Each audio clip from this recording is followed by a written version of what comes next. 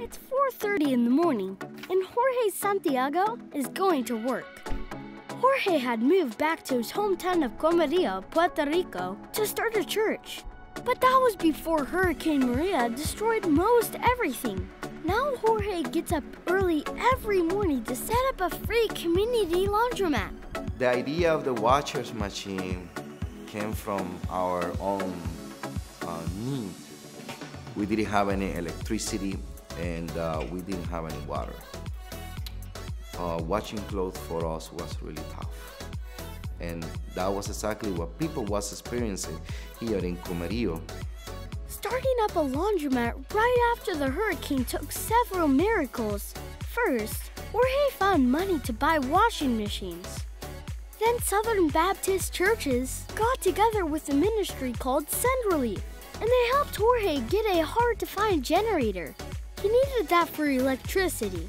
Then, his old elementary school in Comerio gave him a place to set up.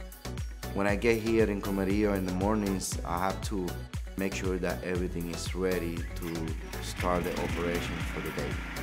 And then we open for the community to do laundry Monday to Friday from 7 in the morning to 5 p.m.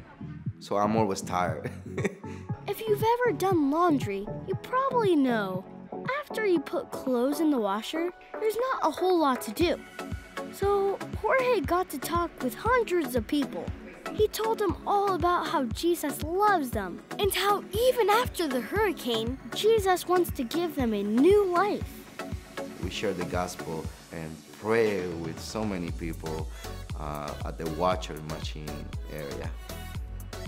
I didn't expect that was going to happen. We were just trying to help the people. But since we are following Jesus, following God on this, He was leading us and guiding us to the right place. People started to pray, and people started to tell Jorge they wanted to follow Jesus. But other people were watching too. And when they came to Jorge with the next call for help, laundry was just the first of many rare and unexpected sights in Comerio.